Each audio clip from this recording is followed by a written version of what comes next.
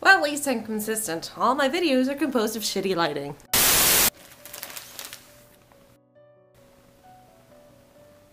Warning, this bag contains internet and also merch from the Rooster Teeth community. Oh my god, I'm continuing my New Year's resolution of buying all my clothes online because there's nothing in this town that I want. So, let's see what we got today.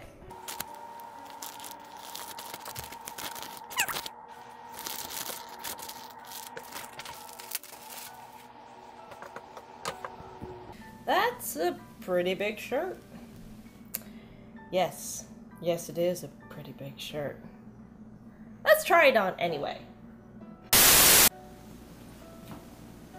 Now, despite as tempting as this is to just wear these as pajamas, I'm not going to.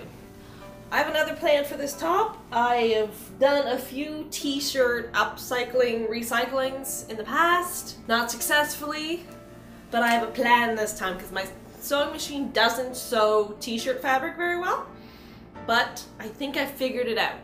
So this is not going to look like this much longer. And it's even got the rooster teeth on the back, like right here. Can you see that? Can you see it? Can you see it? Isn't that cool? So, this is my on sale oversized t-shirt from Rooster Teeth with the Ruby logo. And, oh, it's so soft, actually. I'm very surprised. It's like really soft and I really like it. Ooh, I'm so tempted to keep it as pajamas, but I'm not going to. I have to be strong. I have a plan for this. I had a plan for this for a while. I just gotta go through with it. That's the problem.